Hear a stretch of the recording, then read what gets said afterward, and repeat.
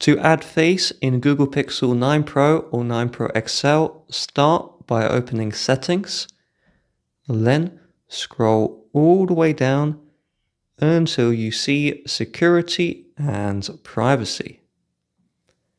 Then you're going to select the Device Unlock option.